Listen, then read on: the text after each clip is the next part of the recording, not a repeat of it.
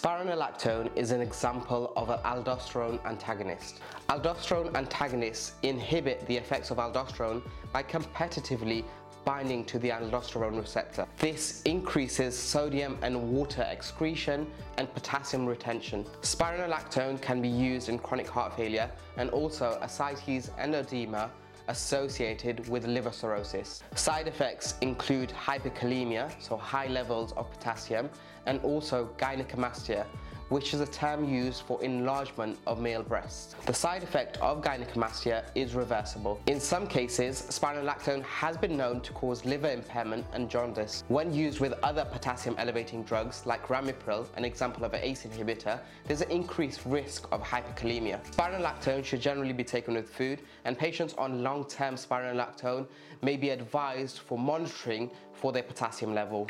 Alongside this, patients' renal function will also be monitored. If you found this useful, subscribe for more.